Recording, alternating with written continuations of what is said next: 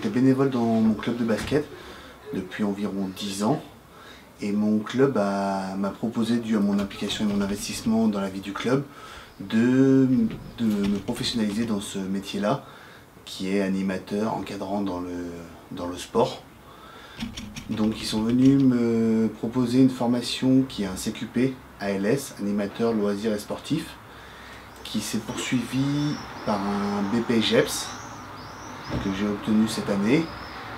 Et je continue l'année prochaine mon parcours, toujours à Innova Formation, en diplôme UCC-ACM, donc un diplôme qui est de la direction pour devenir directeur de centre de loisirs, d'activités périscolaires dans les écoles.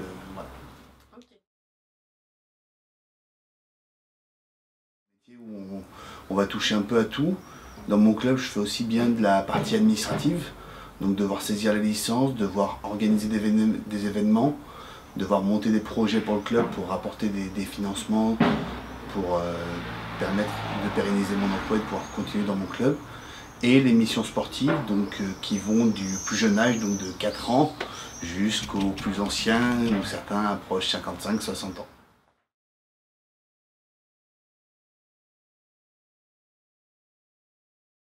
C'est un plus, un moins, mais on travaille beaucoup le soir. Donc le plus, c'est qu'en journée, nous sommes assez libres. Nous avons des tâches administratives à effectuer, soit chez nous, soit au bureau du club. Les moins, je dirais un peu les, voilà, justement les contraintes horaires, de travailler les week-ends pendant toutes les périodes euh, scolaires. Être motivé, être passionné surtout, avoir la passion du sport en règle générale, parce qu'on peut être amené à intervenir dans des écoles, des, choses comme ça. Vraiment voilà, euh, amoureux du sport.